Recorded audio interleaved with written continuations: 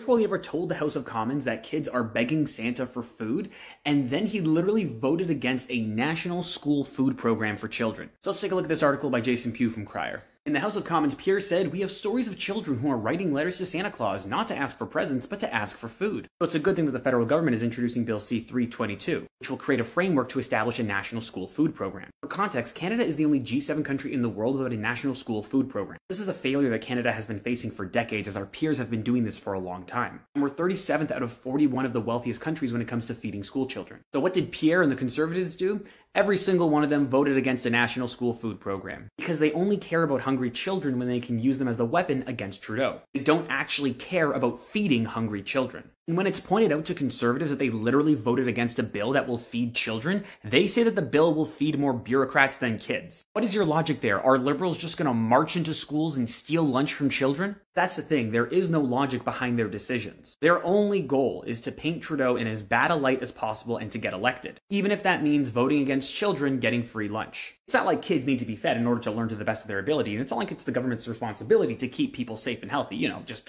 that's obviously not what the government's for. The free market should be stepping in and dealing with this. That's what I assume Pierre would be saying, considering the fact that he voted against giving free food to children.